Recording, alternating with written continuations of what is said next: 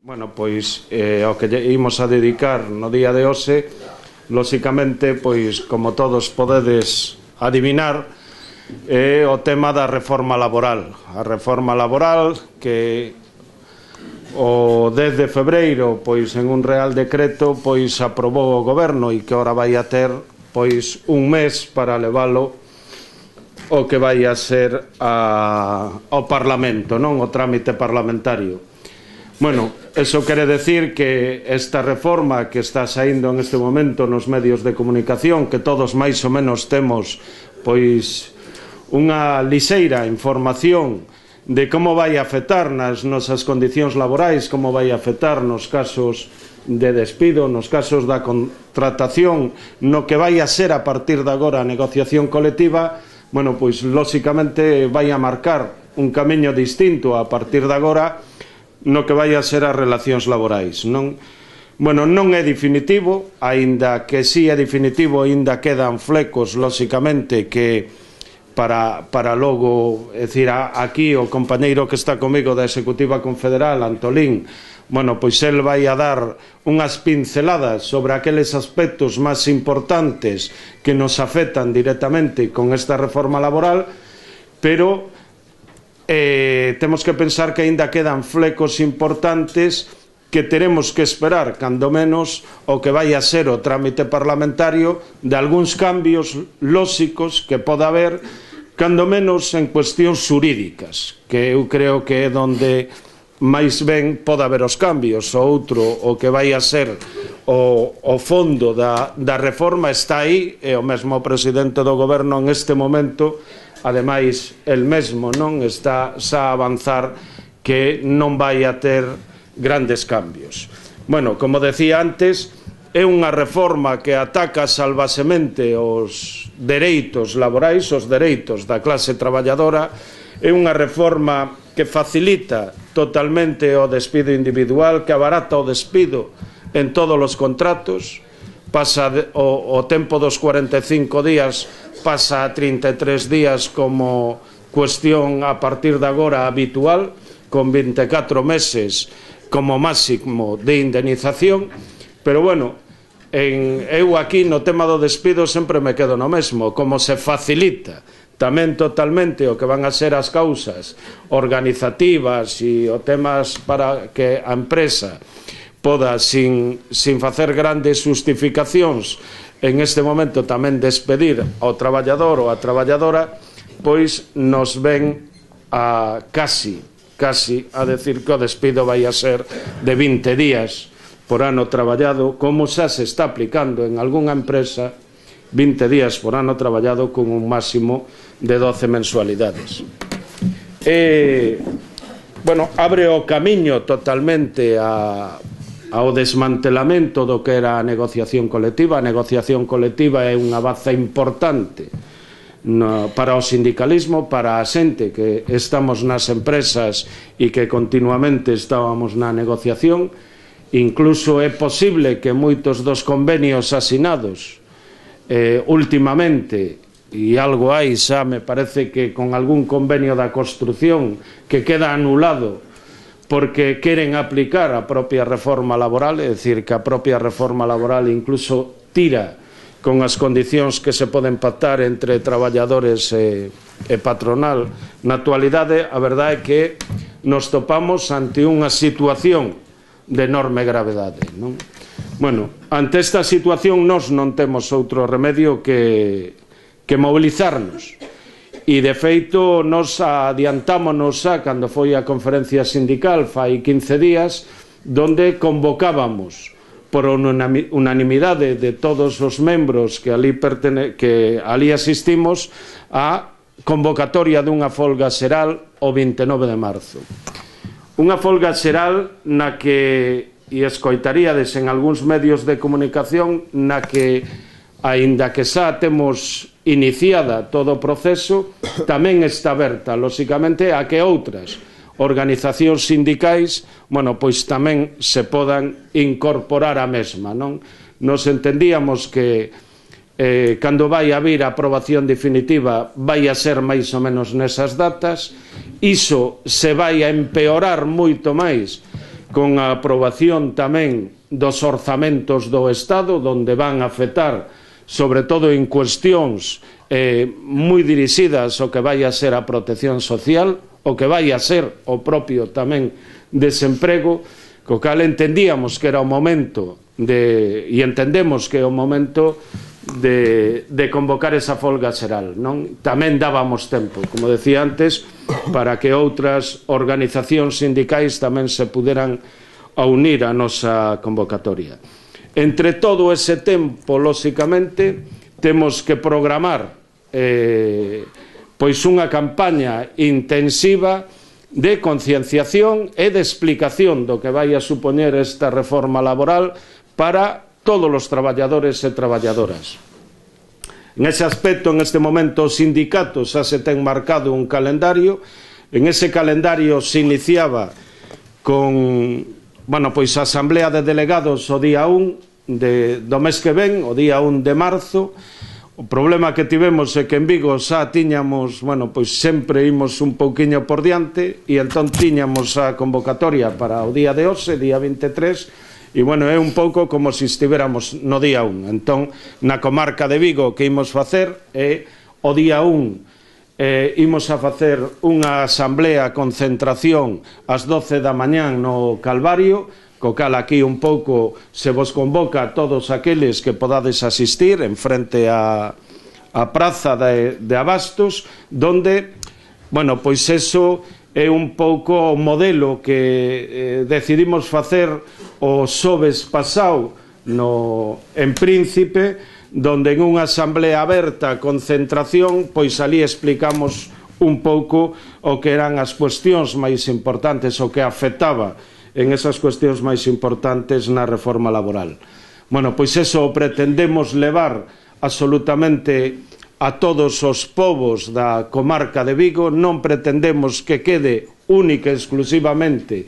eh, en Vigo como outras campañas, é verdad que se teñen feito cousas, bueno, pois donde temos as unións locais, tanto no Morrazo, Porriño, como a Garda, pero entendemos que debemos de ir a outro tipo, a outros povos, non? Debemos de ir a Redondela, debemos de ir a Pontareas, bueno, pois a Porriño, a Tui, decir, a Gondomar, a todos os povos que podamos chegar dentro da comarca. É importante cando menos que todo mundo, todo mundo poda ter un coñecemento do que vai a pasar a partir de agora. Este é un ataque moi importante que, lóxicamente, hai que darlle tamén unha resposta moi importante. Dende a dirección da CIGA somos conscientes que hai que elaborar ese calendario e tirar pa diante, pero tamén somos conscientes que se non temos o vosso apoio eh, nas empresas, se non temos o vosso apoio de difusión tamén de todo o que nos estamos comentando, vai a ser bastante complicado, digo, porque en principio chegar ás empresas, bueno, pois a todas, lóxicamente, non podemos chegar. Entón é imprescindible. Nos iremos quitando, lóxicamente, bueno, pois... Eh, eh, comunicados, iremos máis ou menos dando información, nos estamos a disposición de calqueira empresa, calquel sección sindical que nos queira levar para que ali podamos falar, lóxicamente con un tempo de antelación, porque imos a ter unha pro programación bastante extensa, pero bueno, trataremos de estar en todos os sitios tamén aos que se nos chame. E senón, eu creo que as seccións sindicais tamén esta vez eu creo que non podemos pasar por alto que temos que convocar asambleas nos centros de traballo e temos que explicar aqueles puntos máis importantes de como nos vai afectar esta reforma laboral. Eh, seguindo co tema do calendario, bueno, día 6 temos a celebración do Consello Confederal onde se vai a falar da reforma en Compostela para os membros dos organismos e a entrega de premios do 8 e 10 de marzo O día 8 temos actos públicos eh, en todas as comarcas eh, programados polas secretarías, pola Secretaría da Muller para conmemorar o Día Internacional da Muller Traballadora. Independentemente deso, trataremos tamén de meter as partes que lle afetan directamente co tema da reforma laboral O día 10 de marzo temos unha manifestación que eso sí importante, que nos quedemos todos con esa data. Últimamente, sobre todo nesta comarca, estamos facendo eh, manifestación. Antes se facían concentracións e dende fai uns anos pois lle estamos estamos facendo ese seguimento de darlle continuidade ás manifestacións do 10 de marzo. É importante que en este 10 de marzo podamos quitar moita xente á rúa, porque vai a ser un 10 de marzo contra a reforma laboral e un 10 de marzo preparando a folga xeral. Co cal é importantísimo que espallemos toda a información para que fagamos unha gran manifestación. É dicir, a manifestación do día 19 foi unha manifestación importante de outras organizacións sindicais e non o podemos ocultar, pero cada un temos o noso calendario e a nosa ten que ser importante o 10 de marzo, non? De todas formas, bueno, isto sigue tendo unha continuidade. Pretendemos o día 15 facer unha xornada de loita con peches en centros da administración pública, ensino e saúde. Eh, Entraremos tamén, se é posible, nas oficinas do INEN, co cal tamén se mandarán comunicacións polas distintas federacións para que aqueles delegados que teñan horas, co cal hai que ter moito cuidado tamén nas horas que consumimos no mes de marzo, vai a ser moi importante que as programemos porque van a ser necesarias para todos estes actos.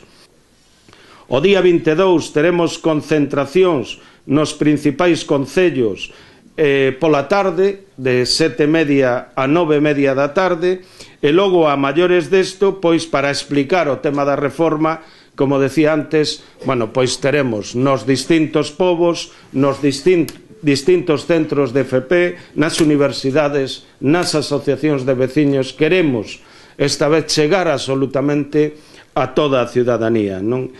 É dicir, o, o día 7 temos tamén o 7 en, imos a facer tamén un acto aberto pola tarde ás 8, entre sete e media oito eh, nas travesas ali na Plaza de América. E bueno, este é un pouco o principio, xa digo, outro programaremos a medida que que bueno, que tamén eh, teñamos confirmada non? bueno, pois as, as distintas as distintas charlas pois falando cos delegados e delegadas e falando co que temos organizado tamén nas distintas unións locais, non? É importante que tampouco nos poñamos nerviosos eh, co que temos que facer por diante, hai que facer moitas cousas, pero eh, nós temos o noso calendario e nós temos o noso ritmo eh, non nos lo vai a marcar nadie. É dicir, nos, e eu aquí quero adiantarme a algunha xente que falaba das mobilizacións do día 19, é dicir, nos con anterioridade fixemos a nosa concentración, nos con anterioridade convocamos unha folga xeral e nos eh, non participamos na manifestación do día 19 porque nós non podíamos participar con unhas centrais sindicais que, primeiro, non convocan folga xeral ante un atentado á clase traballadora como que se acaba de cometer en este momento polo goberno. Pero unhas centrais sindicais que viñan inda fai moi pouco tempo de asenar, asinar un convenio de, acor de negociación, un acordo de negociación colectiva e eh, ca a, con a patronal, non? Donde, bueno, pois todos sabedes como se nos ponían as cousas de alguna maneira eh, facendo que ese acordo fose a propia antesala, non por decirlo de alguna maneira, do que iba a ser a reforma laboral. Nos comentábamos que por moito esforzo que fixeran en esas xuntanzas o goberno, ao final metería igual a reforma laboral para diante, non? Eu non sei en quen estaban pensando eles. Ao final, bueno, pois desgraciadamente tiñamos nos razón, o goberno non lles fixo absolutamente ningún caso e tirou pola eh, reforma laboral para diante, non? Bueno, eu creo que é importantísimo, e repito, que todos e todas eh, sexamos conscientes do que se nos ven por diante. Ahora o compañeiro vai a explicar, xa digo, algunhas as cuestións máis importantes e eu tamén quero xa adiantar aquí que logo remate máis ou menos sobre as 12 eh, pois iremos en manifestación ata o Concello e no Concello entregaremos un documento eh, donde pretendemos co Pleno Municipal pois se manifeste en contra desta reforma laboral e se manifeste a favor da folga xeral que temos convocado para o 29 de marzo. O cartel máis ou menos que se vai a poñer para a folga vai a ser este, digo, para que teñades todos un pouco o que vai a ser a referencia. 29 de marzo, folga xeral e manifestación, eso é o que sairá tamén nos medios e nos anuncios públicos a partir dai. Entón é para que vos quededes un pouco con unha imaxen que vai a durar en todo o que vai a ser o mes de marzo, pero unha imaxe que seguramente vai a ter continuidade despois do mes de marzo, porque despois desta reforma, si realmente non se lle dá un toque importante a este goberno, nos toparemos con outras reformas. E de feito, xa o están falando, non? hai reformas pendentes en este momento, reformas como son o, o tema incluso de quitarnos o dereito á folga, non? É dicir que parece que aquí nos queren quitar en este momento absolutamente todo. Bueno, pois nada máis e eu vos deixo ora co compañeiro Antolín.